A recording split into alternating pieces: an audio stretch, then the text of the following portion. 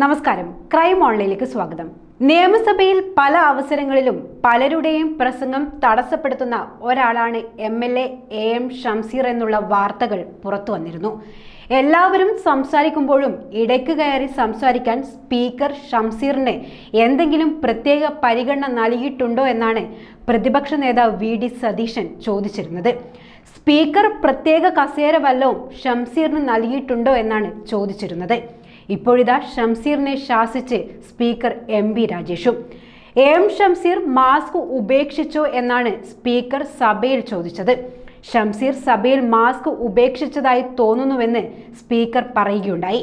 സഭയിൽ പലരും mask താടിയിലാണ് വെക്കുന്നതെന്നും speaker പറഞ്ഞു.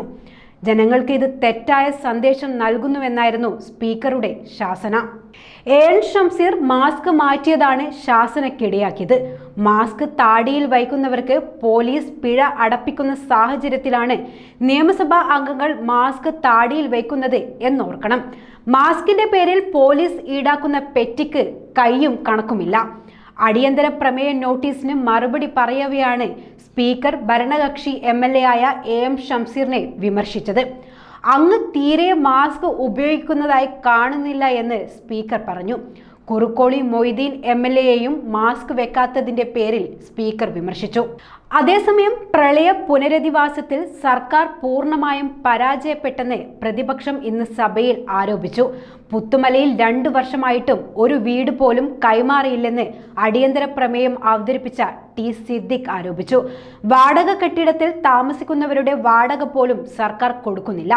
ദുരിതാശ്വാസ പ്രവർത്തനത്തിൽ സർക്കാർ പൂർണ പരാജയമാണ്. സ്പോൺസേഴ്സിന് വേണ്ട ഏകോപനം കിട്ടിയില്ലെന്നും പ്രതിപക്ഷം ആരോപിച്ചു. ദുരന്തത്തിൽ ഇനിയും സഹായം കിട്ടാനുള്ളവർക്ക് ഉടൻ സഹായം നൽകുമെന്ന് കെ രാജൻ മറുപടി നൽകുകയുണ്ടായി. കവളപ്പാറയിൽ അമ്പത്തിയെട്ട് പേരുടെ വീട് നിർമ്മാണം നടന്നു വരുന്നുണ്ടെന്നും പുത്തുമലയിൽ തൊണ്ണൂറ്റിയഞ്ച് കുടുംബങ്ങളെയാണ് മാറ്റിപ്പാർപ്പിക്കാൻ ഉദ്ദേശിച്ചതെന്നും ഇവിടെ മുപ്പത്തിയെട്ട് വീടുകൾ ഈ മാസം പൂർത്തീകരിക്കുമെന്നും അദ്ദേഹം പറഞ്ഞു. പുത്തുമലയിൽ പതിനെട്ട് വീടുകൾ നിർമ്മിക്കാമെന്നേറ്റ സ്പോൺസർ പിന്മാറിയിരുന്നു. അതിനു പകരം പുതിയ പദ്ധതി തയ്യാറാക്കുകയാണ്. എല്ലാവരുമായും സഹകരിച്ച് പുനരധിവാസം പൂർത്തിയാക്കാനാണ് സർക്കാർ ലക്ഷ്യമിട്ടതെന്നും മന്ത്രിസഭയിൽ വ്യക്തമാക്കി. പ്രശ്നത്തെ രാഷ്ട്രീയവൽക്കരിക്കരുതെന്നും മന്ത്രി കെ രാജൻ ആവശ്യപ്പെട്ടു.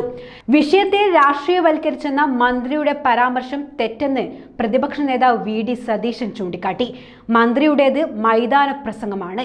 ചെയ്ത പ്രവൃത്തികൾ സർക്കാർ പാതി വഴിയിൽ നിർത്തിയെന്നും സതീശൻ ആരോപിച്ചു. റീബിൽഡ് കേരളയിൽ പ്രഖ്യാപിച്ച ഏഴായിരത്തി നാനൂറ്റി അഞ്ച് കോടിയിൽ നാനൂറ്റി അറുപത് കോടിയുടെ പദ്ധതി മാത്രമാണ് മൂന്ന് വർഷത്തിൽ നടപ്പാക്കിയത്. ലോകബാങ്കിന്റെ ആദ്യ ഗഡു പോലും ചെലവാക്കിയില്ല. പ്രളയ ദുരിതാശ്വാസത്തിന് കിട്ടിയ പണം വകമാറ്റി.